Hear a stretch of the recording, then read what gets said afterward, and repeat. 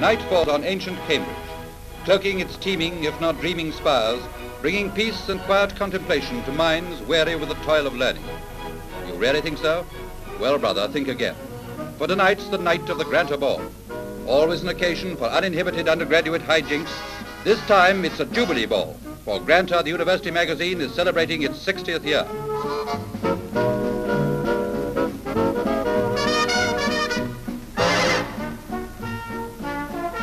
To get in, you've got to have an iron ticket, and the only scientific way for tearing metal in two being a blowtorch, and acetylene blowtorch it is. Granta's editor, Arthur Davidson, promised Cambridge a Diamond Jubilee night to remember for the next 60 years. And Cambridge probably will, if it lasts the night out.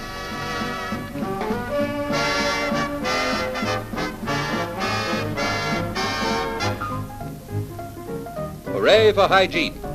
And a polite puff of DDT for every guest is one way to keep the party clean. Let's gate crash the big night of the Cambridge social year and join the fun.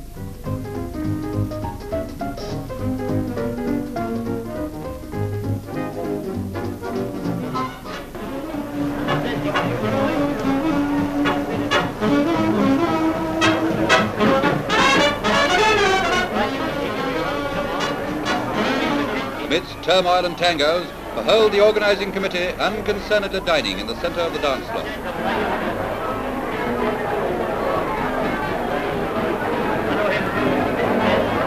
Amidst the dancers, behold a visitor dropped in from a lesser-known university in a nearby county.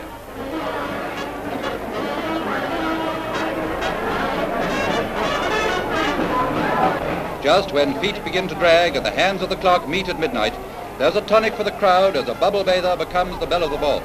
This spectacle spurs the revelers to renewed energy. The pianist is doing his best, but at the Granta Ball, anything and everything goes.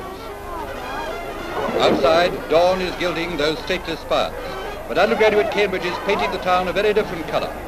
Jubilee red.